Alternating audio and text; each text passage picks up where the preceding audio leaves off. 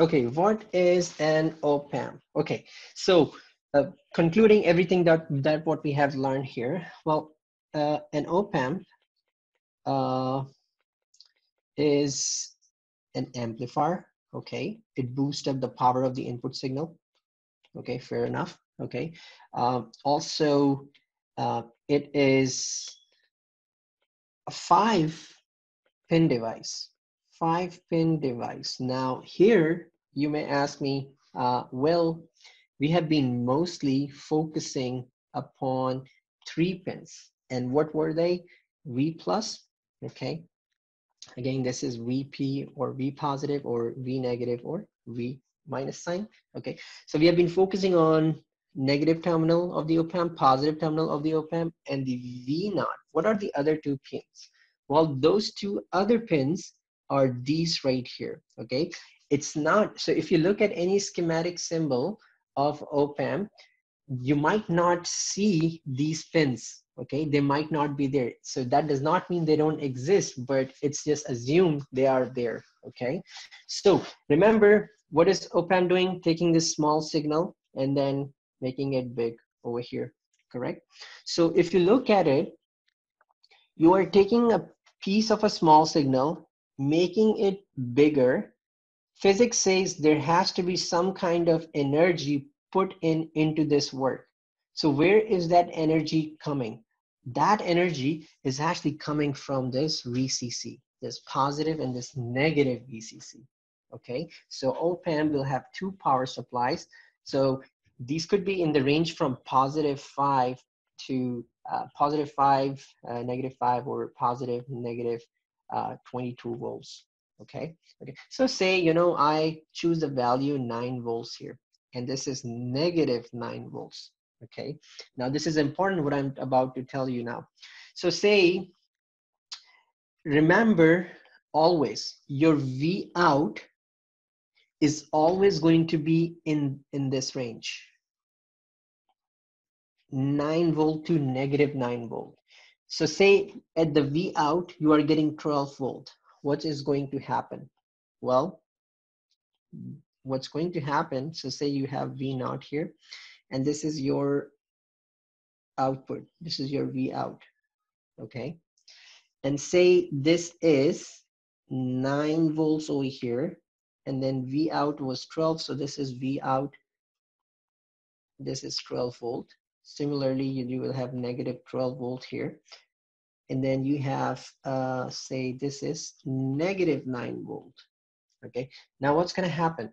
Well, because you have exceeded what was the rail voltage, any inputs, any output signal that is above the rail voltage, which is 9 volt, will be clipped. So you will basically get this. Similarly, on the negative axis, this part which is below the negative 9 will be clipped and you will get something like this. So what's happening here? What would happen to this part of the data? It will be lost. You don't get it, right? Therefore, we have to make sure that this V naught is always in the range of the power supply, VCC and negative VCC, okay? All right, so it is a five pin device. Uh, uh, two input pins, right? Two input pins, uh, and those are VP, VN, um, same thing, V plus, V negative. Uh, we have one output pin, right? We have one output pin, and that is uh, V naught, correct? Uh, similarly, we have two power supply pins.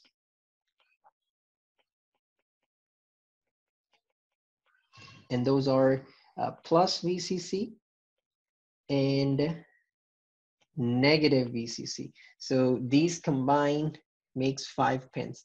And I think I already mentioned that earlier, uh, that uh, there is no ground pin, okay? There is no ground pin. So when you do the lab tomorrow, just keep that in mind. Okay, all right, let's move on to the next thing. What is happening over here? Now, one thing that you should remember and be it any device, be it an operational amplifier, transistors, or diode, they work in a in a in a region. Okay, if they go beyond some region, they won't work. They those that region is referred to as a saturation region, as you can see on this graph right here. Okay, this is the saturation region, and this is in the middle is a linear region if we want our operational amplifier to work as an amplifier, we have to make sure that our amplifier works within this region in the middle, okay? Um, see, over here in this region. Okay, now how can we uh, make that work out? Notice here that you have, you have on the y-axis over here, you have V naught, okay? V naught, and then you have plus VCC, and then you have minus VCC. Again, uh, this is uh, negative V naught here, and this is positive V naught. Okay, uh, here what you got on the x-axis, at the x-axis you got Vn, right? Vn is what? It's a potential difference or differential voltage between uh, V plus and V minus. In other words, I can also write it down as Vp minus Vn. Both are same thing. I can write either way, correct? Ideally, we want the differential voltage to be what? We just covered that. Input voltage needs to be ideally. Yes, folks. Zero. Zero. Okay. Now, so we are zero here at this point. Okay.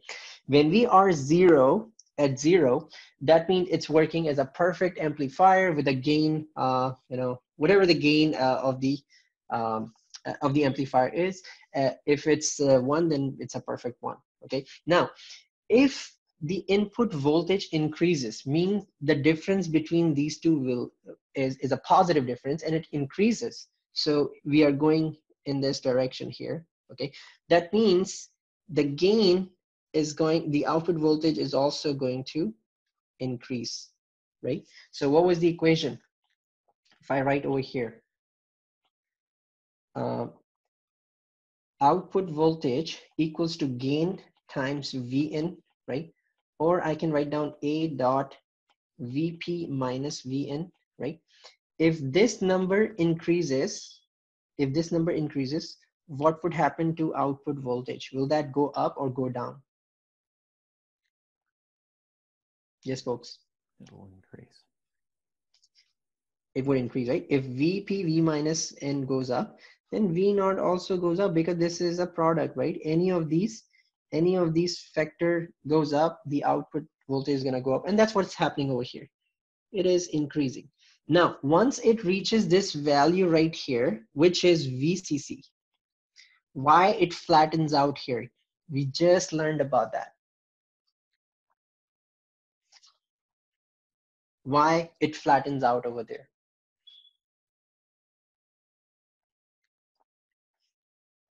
So the reason it flattens out because you have reached the positive VCC voltage and you cannot go above that. You don't have enough power. It's kind of like, you know, you're trying to get to from point A and point B and you need X amount of fuel. But if you don't have that amount of fuel, uh, you can't, I mean, in that amount of fuel, you can only go from A to B. If you want to go from B to C, you cannot. So you would stop there, right?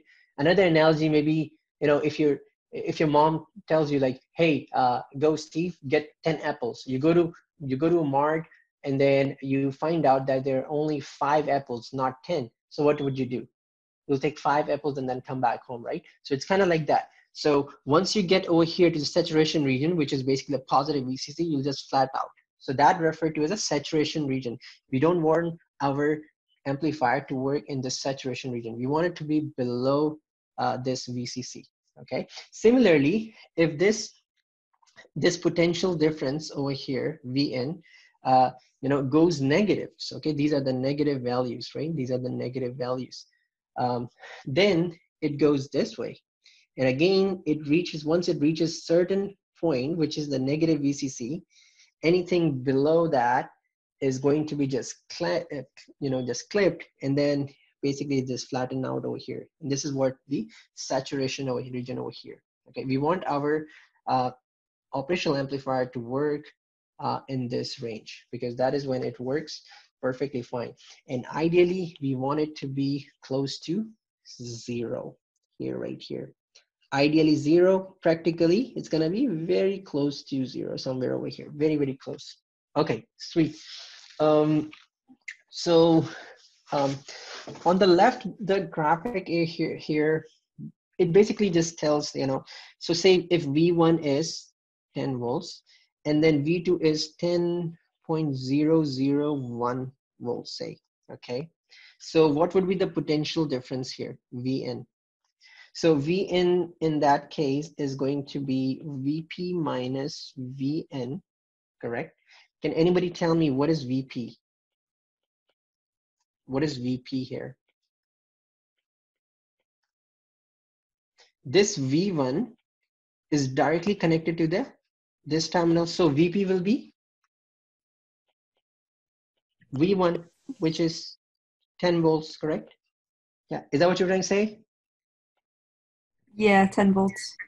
Okay, perfect. Tell me VN now. What is going to be VN? So if you look at VN here, 10.001.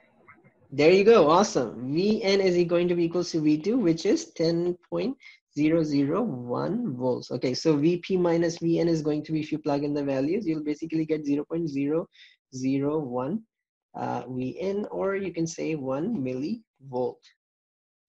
Okay. All right. Uh, so if uh, if you if you do uh, the gain here, so V naught is equals to A dot Vn, correct? Uh, and A is going to be the gain of this amplifier.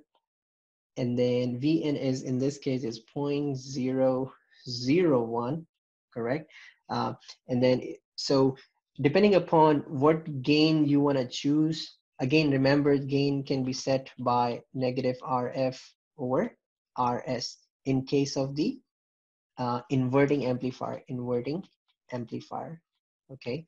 Uh, you have to choose what vcc you want to go with right? You have to make sure that your v positive vcc negative vcc covers the voltage that you are looking for. So this is extremely important okay